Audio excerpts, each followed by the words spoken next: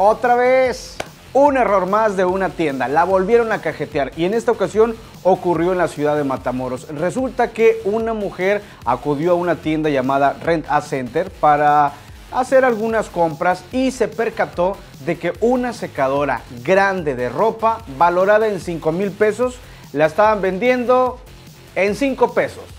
Y obviamente, como en la mayoría de los casos ocurre, la gerencia de la tienda se negaba a venderle este artículo argumentando que ya se había agotado.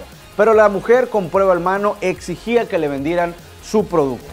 Que no me están respetando el precio. Ah, no, digo, tú puedes marcar a Profeco y ya te arreglas con ellos, va, y te Porque me están, me están negando el, el producto, o sea, Pero yo no estoy negando el producto. me lo no- negando. Entonces véndemelo. ¿Por qué no me lo vendes?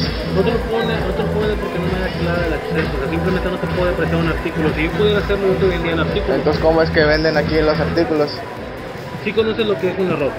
Sí, este, en ese momento, créeme, si hubieras venido con la Profeco en ese momento, pues te lo hubieran tenido que vender. Igual ahorita ya hablamos y nos dijeron que tienen que respetar el precio. Y si no está ese, tienen que respetar ese precio. Sí, pero yo no tengo la secadora.